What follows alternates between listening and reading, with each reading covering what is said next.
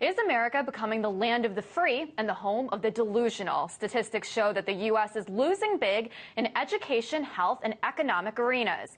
But U.S. citizens don't seem to be keeping score. RT correspondent Kaelyn Forde reports. It's been called the city upon a hill, the beacon of democracy, the lone superpower, the American empire.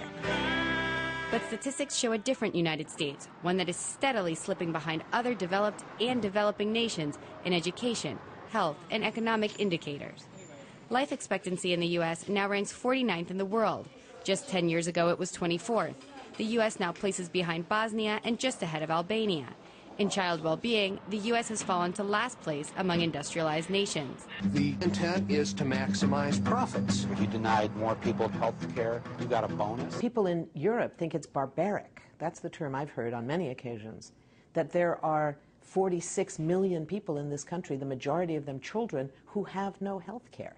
It's also a nation where 44 million live below the poverty line. It's seen as an individual failing instead of a societal failing. So I think that people feel bad about themselves and it's their fault as opposed to looking around structurally. Politicians here in Washington have already begun to speak about economic recovery after so much hardship.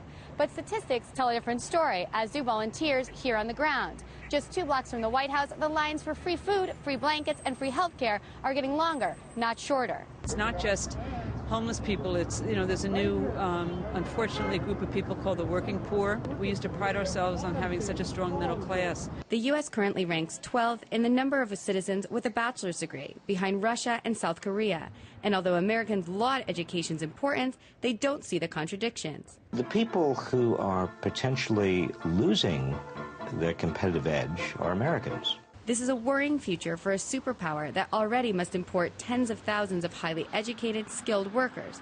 Still, few seem concerned. Does the U.S. have the, the best university system in the world?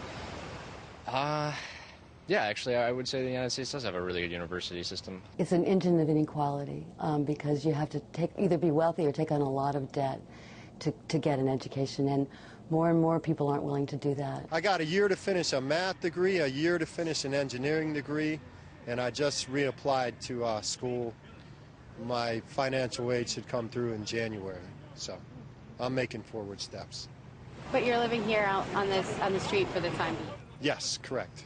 After U.S. banks received billions in bailouts last year, it seems no surprise that America ranks 108th out of 133 countries in the soundness of its banks. Credit breaks down barriers. It breaks down barriers for for capitalism, allows individuals to free that they're to feel like they're breaking down limits. They can pretend that they're more middle class than they are. They can live beyond their means. That's true for individuals, Wall Street, and the country as a whole. The U.S. national debt is a massive $13.6 trillion. The numbers are clear, but for Americans, they haven't sunk in. Compared to India or, say, maybe China or some of the third world countries, we are far much better off. But for how long is an empire merely in the eyes of the beholder? No empire is permanent.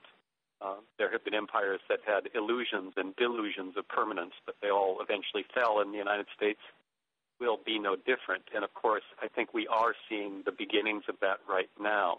And does it serve those in power? That mythology is very, very useful to people in power because it creates a sense in the American public of our own right to rule. And so when people in power, a fairly small group of elites, go about the business of trying to rule the world basically in their own self interest, it's very easy to mobilize the larger population. For now, Americans seem content to keep the myth alive. Kaelyn Forde, RT, Washington, D.C.